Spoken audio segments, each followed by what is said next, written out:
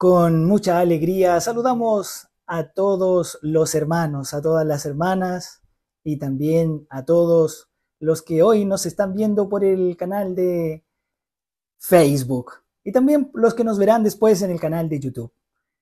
Estamos muy contentos, estamos alegres porque nuevamente podemos oír la palabra de Dios. Hubo un tiempo en que la palabra de Dios fue escasa, no se oía, fueron mil años de oscuridad, pero hoy, gracias a Dios, podemos escuchar. La fe viene por el oír y el oír la palabra de Dios. Y también habrá un tiempo en la gran tribulación donde no se escuchará la palabra del Señor. Eso es una gran tristeza. Pero damos gracias al Señor porque hoy todavía es tiempo de oír, de oír la voz del Señor.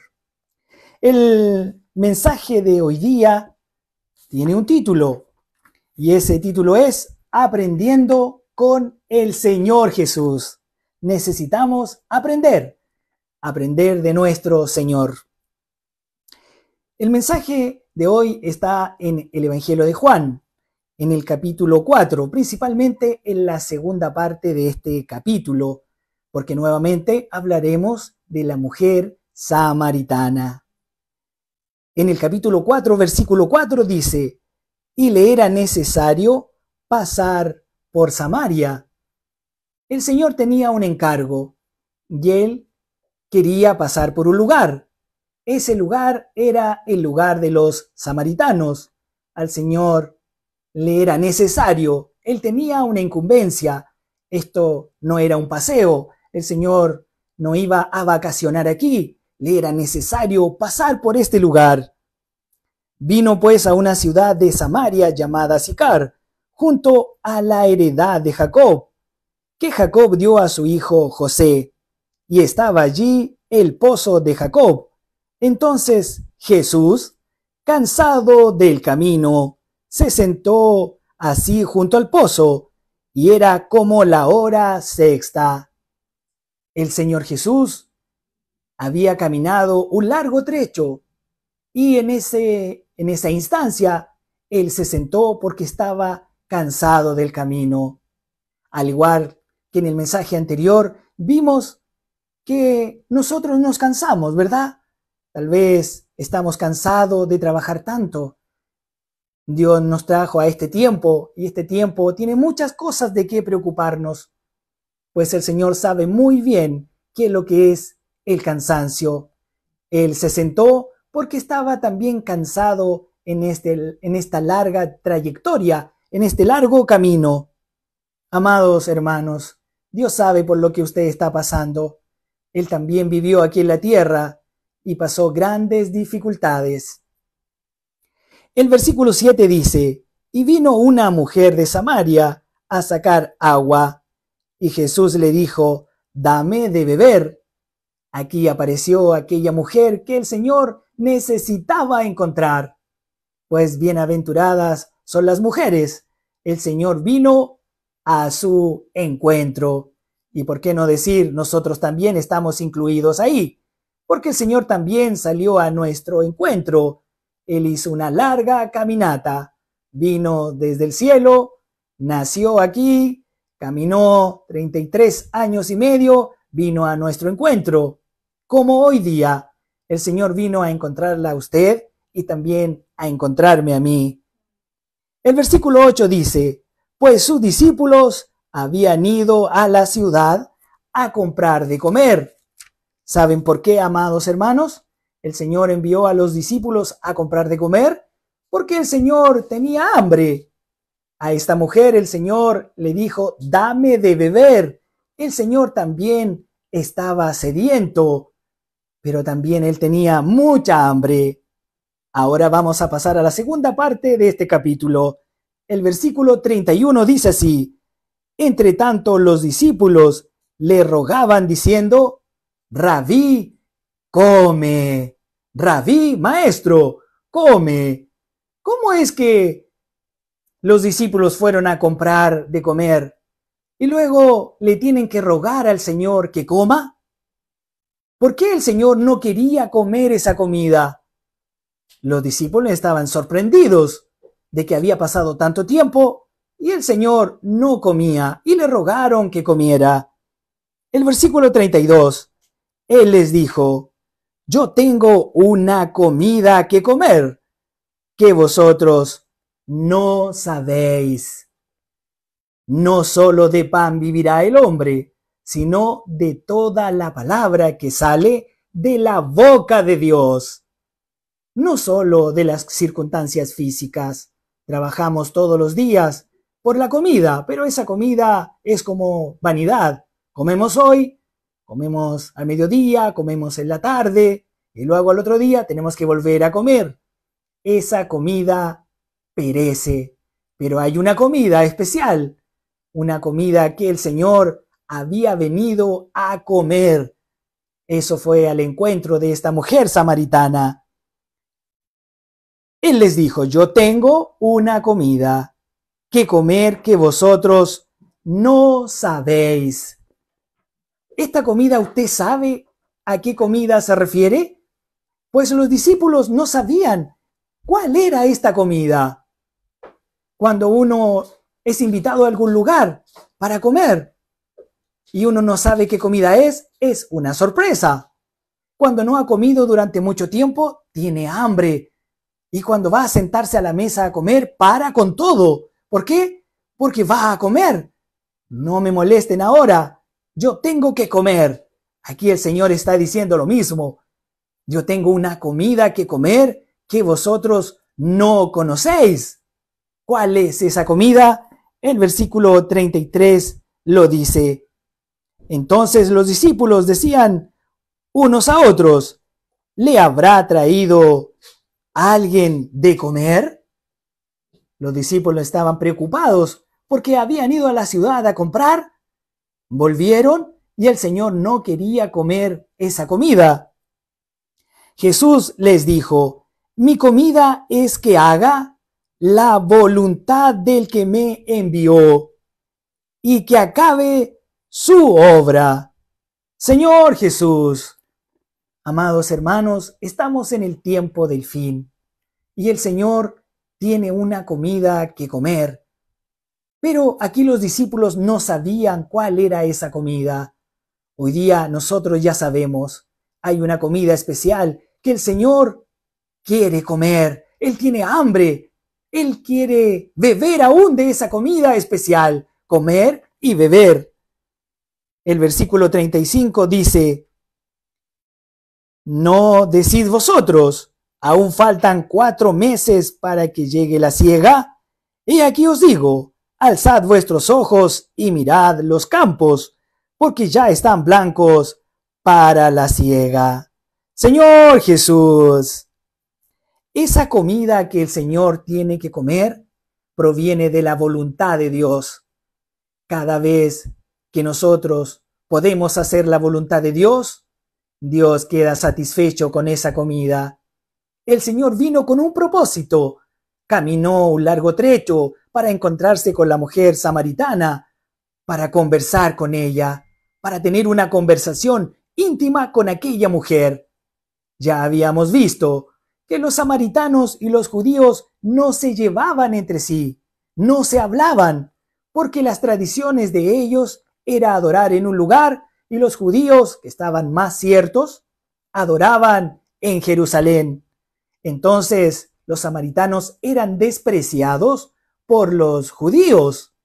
Pero ahí el Señor salió al encuentro de esta mujer samaritana para hablar con ella, porque a Dios no le importan las tradiciones. Tampoco le importan aquellas reglas que nos impiden hablar con Él. Sin tradiciones, el Señor quebró eso y hoy día, por amor a nosotros, el Señor se ha intensificado siete veces más para alcanzarlo a usted y para alcanzarme a mí. Ahora, querido hermano, querida hermana, ¿estamos haciendo la voluntad de Dios o no estamos haciendo la voluntad de Dios? Tal vez yo estoy haciendo mi propia voluntad. Me levanto en la mañana y voy a comer de una comida que no es la comida de Dios. Trabajo para ser feliz. Quiero una casa, quiero un auto, quiero una profesión. y logro alcanzar todas aquellas cosas, pero realmente aquellas cosas me hacen feliz. Hay personas que vinieron a este mundo y trabajaron arduamente, lograron hacer un imperio y al final de sus días, en una cama, postrados en un hospital, se dieron cuenta que no eran felices, que hicieron todo en este mundo, que comieron de todo en este mundo, que trabajaron de todo para alcanzar lo que ellos creían la felicidad y no se llevaron nada, no se llevaron nada de este mundo. En cambio otros, que tal vez no tuvieron esas posibilidades, tampoco tuvieron mucho, pero si en realidad no hicieron la voluntad de Dios, no hay mucha diferencia en alguien que sea rico o que sea pobre, porque aun el rico o el pobre tampoco llevarán nada.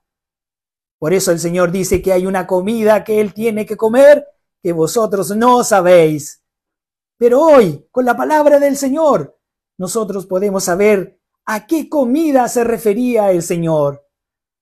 Que el Señor pueda santificar nuestros oídos para oír su voz y poder entender que ya estamos en el fin de los tiempos. El Señor está a las puertas. Por eso el versículo que estábamos leyendo y dice, no decís vosotros, no, no decís vosotros, aún faltan cuatro meses Querido hermano, querido hermana, ¿faltan cuatro meses? Tal vez usted esté pensando que falta tiempo todavía. Hace mucho tiempo que dicen que el Señor viene, que el Señor ya está aquí, que queda poco tiempo, como dice este versículo. ¿Ah? Ustedes dicen que faltan cuatro meses. ¿Usted cree que falta ya mucho tiempo? Pues no es así. Ya no queda nada. Vamos a disfrutar este versículo. No decís, no digamos más. No creamos aquellos que dicen que viene y no viene, porque la misericordia del Señor se ha extendido. ¿Para qué? Para que hoy podamos arrepentirnos. Porque si no nos arrepentimos y buscamos al Señor para hacer su voluntad, entonces nosotros sufriremos pérdida. Porque la verdadera felicidad no está en ganar el mundo, sino en hacer la voluntad de Dios, la perfecta y soberana voluntad. Aún faltan cuatro meses para que llegue la siega. Y aquí os digo, alzad vuestros ojos y mirad los campos, porque ya están blancos para la siega. Queridos hermanos, todo lo que está aconteciendo en el mundo, todo lo que está sucediendo en los diferentes continentes hoy día indican que hay muchos cristianos, hijos de Dios, que ya están maduros. Y este mensaje que estamos viendo hoy es para que nosotros abramos los ojos y no nos quedemos dormidos. Despiértate tú que duermes y te alumbrará Cristo. Es el Señor que nos habla hoy no es este tiempo para dormirnos, para pensar que el Señor tarda en venir. Podría ser hoy mismo, podría ser mañana, que el Señor abra nuestros ojos para ver de manera espiritual todas las cosas. Porque esta mujer pensaba que el Señor tenía sed de aquella agua física, pero el Señor le había dicho que había un agua que él necesitaba beber y que si esta mujer bebía de esa agua, nunca más volvería a tener sed. Ya vimos eso, porque el Señor busca verdaderos adoradores que le adoren en espíritu y en verdad. Por eso el Señor necesita de nuestro corazón, necesita de nuestro tiempo. Él vino a hablar hoy con nosotros para que nosotros abramos nuestra alma tengamos una conversación con Dios y podamos ver lo que Él nos está diciendo. Versículo 36. Y el que ciega recibe salario y recoge fruto para vida eterna, para que el que siembra goce juntamente con el que ciega. Señor Jesús. El versículo 37, porque en esto es verdadero el dicho, uno es el que siembra y otro es el que ciega. Queridos hermanos, muchos evangelistas salieron por el mundo a predicar el Evangelio. Nosotros hoy día, Dios nos habla que tenemos que hacer una voluntad. Esa voluntad es que si nosotros recibimos y creímos en el Señor, tal como la mujer habló y dijo que el Señor le había dicho todo lo que ella había hecho, de la misma manera, el Señor sabe todo de nosotros. Y hoy lo que necesitamos es salir a nuestros familiares, a las personas que están cerca nuestro, a nuestros amigos, a nuestros compañeros y hablarles de Jesús. ¿Por qué? Porque los campos están blancos, las personas hoy están más necesitadas que nunca de oír la palabra de Dios. ¿Y de dónde la van a oír? ¿Cómo la van a oír? ¿Quién tiene al Señor? Hay un versículo que dice, envíame a mí. ¿A quién enviaré? Enviaré. ¿Quién irá por nosotros? envíame a mí. Dios dice que los campos están blancos, es decir, necesitamos ir y hablar también a otros lo que Dios ha hecho con nosotros. Vamos a obedecer porque esa es la voluntad de Dios. ¿Sabía usted que los samaritanos no se llevaban con los judíos, verdad? Pero aquí acontece algo muy grande. Vamos al versículo 39. Y muchos de los samaritanos de aquella ciudad creyeron en él por la palabra de la mujer, que daba testimonio diciendo, me dijo todo lo que he hecho. ¿Recuerdan que la mujer samaritana, ella había ido al mediodía a encontrarse con el Señor? Porque ella sentía vergüenza de su condición pecaminosa. Entonces al mediodía, donde nadie iría con el calor del sol a sacar agua, allí se encontró con el Señor. Pero ella no quería encontrarse con nadie, porque sentía vergüenza. Mas, ¿qué aconteció? Aquí ella perdió la vergüenza. Porque ella fue a la ciudad y ella proclamó, he encontrado al Señor, ¿no será este el Cristo? Y me ha dicho todo lo que he hecho. Entonces ella perdió la vergüenza. ¿Por qué? Porque encontró al Cristo, porque encontró al Señor. ¿Y qué había hecho, queridos hermanos? Pues el Señor le dijo, tú tienes y has tenido cinco maridos, un marido, dos maridos, tres, cinco maridos, y el que ahora tienes no es tu marido. Eso el Señor le dijo a esta mujer. Y esa mujer fue y fue al pueblo, fue a Samaria. Y ella gritó, habló y dijo, he encontrado a un profeta, he encontrado a Cristo, me ha dicho a mí todo lo que he hecho. ¿Por qué? Porque ella creyó, ella fue a hacer la voluntad de Dios. Miren, el Señor salió al encuentro de esta mujer pero el Señor no fue a la ciudad. Fue la mujer la que fue a la ciudad. Dios bendiga a todas las mujeres. Dios hoy no tiene manos, pero tiene sus manos. Dios hoy día no tiene pies, pero tiene sus pies, tiene ahora mis pies. El Señor hoy no tiene boca, tiene su boca y tiene mi boca. Eso fue lo que hizo la mujer samaritana. No fue el Señor a la ciudad, sino fue esta mujer con valentía, no con cobardía. Ahora ya no tenía vergüenza, sino que fue a proclamar el nombre de Cristo y trajo a todas las personas. Continuamos con el siguiente versículo. Versículo 40 de Juan capítulo 4. Entonces vinieron los samaritanos a él y le rogaron que se quedase con ellos y se quedó allí dos días. Miren algo. La mujer samaritana fue a buscar todo un pueblo. ¿Y qué aconteció con los discípulos? Ellos estaban preocupados porque el Señor no había comido y le rogaron que comiera. ¿Qué fueron a buscar los discípulos? Fueron a buscar comida. Pero esa comida el Señor no quería comer.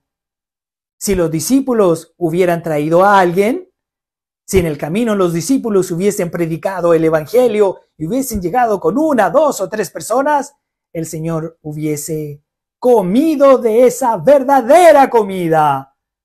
Pero esta mujer hizo la voluntad de Dios. Entonces vinieron los samaritanos a él y le rogaron que se quedase con ellos. Y se quedó allí dos días.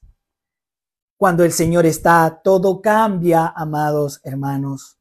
Las tradiciones cambian, las costumbres no importan, la religión no importa, porque llegó el Señor. Recuerden, samaritanos y judíos no se llevaban, no se hablaban. Pero aquí el Señor cambió todo. Él es judío y aquí están los samaritanos. Y los samaritanos, todo un pueblo, salió al encuentro del Señor. Porque el Señor derriba toda enemistad cuando estamos en su presencia. Por eso si hoy hay enemistades, hay amarguras en nuestro corazón, hay celos, envidias, contiendas, hay algo que nos impide avanzar, solo tenemos que traer a la presencia nuestro amado Señor. Traigamos a Dios, invitémoslos, invitémoslo a vivir con nosotros, hablemos con Él, una conversación íntima. Doblemos la rodilla de nuestro corazón, porque el Señor derribará todo aquello que nos impide ser felices. Para ser felices necesitamos ir a la palabra de Dios y hacer la voluntad de Dios. Mire este versículo. Después que no se trataban entre sí samaritanos y judíos, ahora le piden al Señor que vaya a la ciudad y se quedó con ellos dos días. Amados hermanos, el Señor ha estado con nosotros ya dos mil años. Ya ha estado dos días con nosotros, porque un día para el Señor son como mil años nuestros. Así que ya estamos en el tiempo de la siega. Los campos están blancos. ¿Sabe qué acontece con un agricultor? Un agricultor lo que hace es sembrar. Luego espera su tiempo de cuidar aquella siembra, de cultivarla, demora tiempo. Pero cuando llega el momento en que aparecen los frutos maduros, ya no tiene mucho tiempo. Es hora de cosechar. Porque si no cosecha a tiempo, toda la siembra, todo el trabajo que hizo, se puede perder. Es por eso que el Señor hoy nos está alumbrando. Nosotros necesitamos madurar, necesitamos crecer. Necesitamos comer la palabra de Dios y buscarle en oración, buscarle de verdad con todo nuestro corazón, con todas nuestras fuerzas y también con toda el alma, para que seamos aquellos frutos maduros, porque ya no queda tiempo. Vamos a la última parte de este mensaje, porque el capítulo 4 tiene porciones maravillosas.